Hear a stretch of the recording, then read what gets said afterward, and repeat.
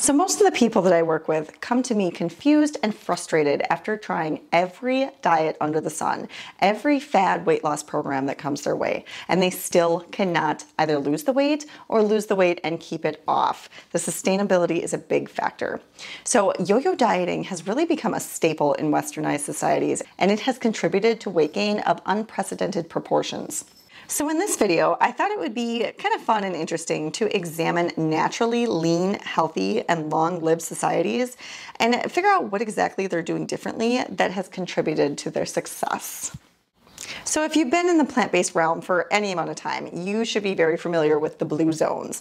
These are the particular areas of the world where they find the most centenarians and the most healthy, long-lived, lean, naturally lean people. So this would be places like Okinawa, Japan, Nicoya, Costa Rica, Sardinia, Italy, Loma Linda, California, of all places, as well as Ikaria, Greece. So these are diminishing to some degree since they were first studied years back, but there are still certain aspects of these civilizations that naturally lend themselves to a happy, healthy, joyful life. I think it will be interesting to look at the similarities between those areas to determine what exactly is it that we are doing so wrong in our society as this sick, overweight population. So for the major six similarities that I'm going to be discussing, the first one is natural movement, sunshine, and fresh air. These people are living, breathing, and existing for the most part outdoors and in their natural environment. So they are spending plenty of time in their gardens and in their fields and in their streets because they don't have vehicles most of the time. In Loma Linda, for instance, that one's a little different because they do live in a very westernized society. So they do have cars and they do have different means of transportation and getting around and washing machines and dryers and dishwashers and stoves and all that. But they hold exercise at very high importance. They work it in as a natural part of their day on a daily basis. They prioritize it in such a way that they are getting a similar amount of physical activity as other places like Sardinia, Italy, or Ikaria, Greece, that are tending to the sheep in their fields or washing their clothes in the stream or what have you. So what we can do as westernized civilizations is start to incorporate exercise as a natural part of our day. Just standing more in general, moving around, even little bouts of fidgeting is helpful for increasing your resting metabolic rate. So the amount of calories that you burn while you're literally just at rest breathing and your heart's beating and your blood's flowing.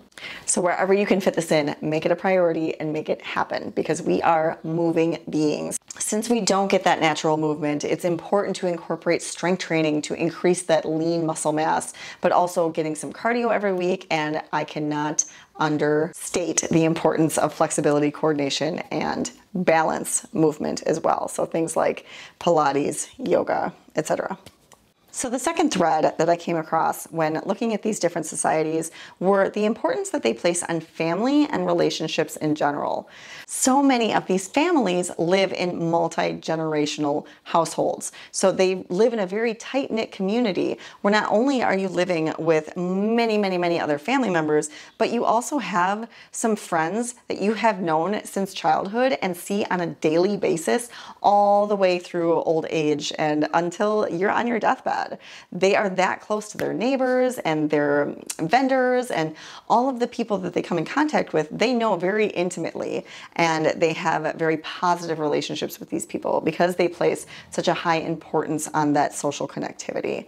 So some things that we can do differently in westernized cultures is to take a step back from our workaholic lives or our busy family schedules with running to soccer practice and dance class and all these different things and just kind of take a step back and realize that just being together is just as important as trying to stuff as many things into our schedule as possible. We so overdo it in this society. So taking time out to um, make room for friends and family should be just as important to you as getting to the gym and meal prepping every week. It should be on a similar weekly basis, just like those other things. If you're enjoying this video so far, make sure you give it a like and subscribe to my channel if you're interested in learning more about plant-based nutrition and how you can utilize it to improve your health or lose weight.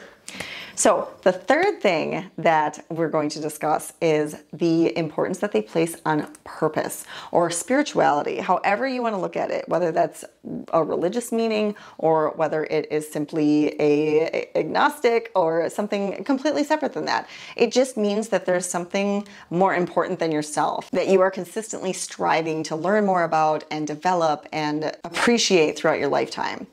So, for a lot of the individuals in the blue zones, this is religion or it's family in general. Being able to be a fourth generation great great great grandmother and taking care of your great great great granddaughter, that is a huge, huge sense of purpose and meaning for somebody in that situation. So, in westernized cultures, this can be as simple as attending a local church on a regular basis, or having a book club that you love going to, or some kind of meditation practice, or I'm um, sorry, one, one moment my little friend here likes to get into the, um, the cords. So as long as she doesn't destroy my camera equipment, we can uh, continue.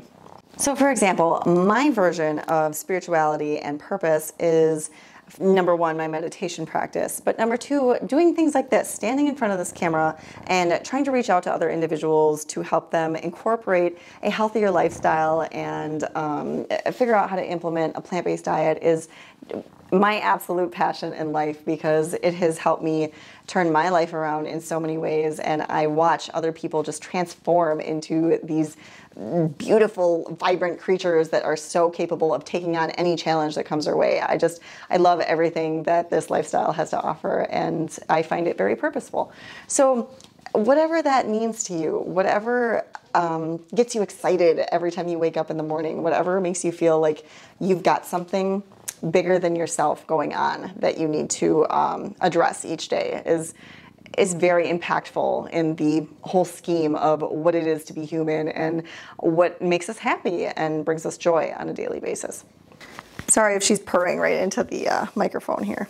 So the next similarity I found across each of the blue zones was the importance that they place on rest and relaxation, something that Americans know very little about for the most part. In many European countries, they actually have a standardized nap time in the afternoon where everybody who is able to, and uh, for the most part, they prioritize it. So the majority of people take a nap in the afternoon, and it's just the way that they carry out their day. Businesses shut down, people go home, they lay down, and they take that time to themselves to recover from the busy day and get ready to go back to work and you know, complete the rest of their day. And the Seventh day Adventists in Loma Linda shut down for an entire day every Sunday and spend that time with family and getting in touch with God and all of the different things that um, help them feel like they're recharging and revamping their energy to start the week. So I think westernized cultures can really take advantage of this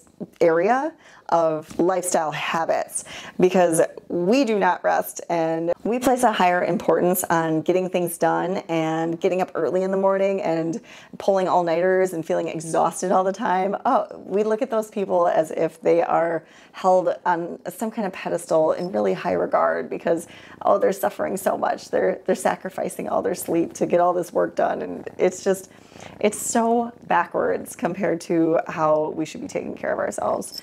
So, doing things like taking an afternoon nap or making absolute sure you prioritize those seven to 10 hours of sleep, whatever it is that you need as an individual, is highly conducive to maintaining a lean, healthy body for the long haul. So the next similarity we're going to talk about is near and dear to my heart, and that is that each of these areas follow a mostly plant-based diet. Yes, they do have little amounts of dairy and animal foods, but very, very minimal processed foods. And if they are processed, they were likely processed in their own kitchen. So it's minimally processed as opposed to the highly refined junk that we find in our grocery stores today. So these people eat seasonally, they eat local, they grow a lot of their own food. Their soil is a lot different than ours. Their food is organic, and most of their staples are things like corn, potatoes, and cereal grains like wheat. Oh, she's so precious. If I don't do this, she literally tries to climb up my body the entire time I'm videotaping.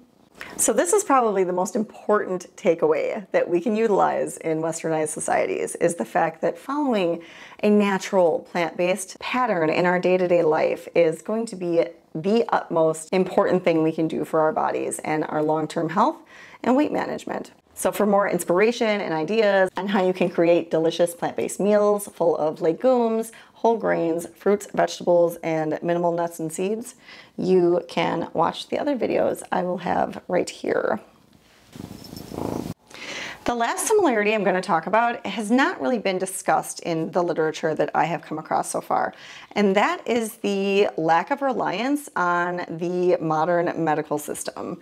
So, we are heavily medicalized as Western societies. We place high, high importance on a healthy lifestyle by maintaining these regular doctor visits and getting our vaccines and getting our antibiotics every time that we have a sniffle and agreeing to invasive procedures and surgeries without really looking into the research to seeing how we can help to heal our body prior to signing off on some of these dangerous and sometimes not very beneficial surgeries and procedures and medications and such. So in the blue zones, they'll typically use natural healing mechanisms. So things like herbs, acupuncture, yoga, fasting. There are so many other ways that most societies have taken care of regular ailments throughout history that you don't have to always jump to the doctor's office when something goes wrong in your body. It can be helpful to take a step back and look at all your options first before you make any dire decisions. And I'm not saying all antibiotics. Okay, okay, I hear you. I hear you. So, what this has led to is the fact that these people in the blue zones have grown up with extremely natural, healthy microbiomes. So, that is the area where the majority of our immune system takes place. So, you really want to be careful taking care of those gut bugs. And the ways that we do that are what we've been discussing so far in this video exercise, hydration, uh, making sure you get plenty of plant-based nutrition, all of these different things that coincide to create our healthy microbiome.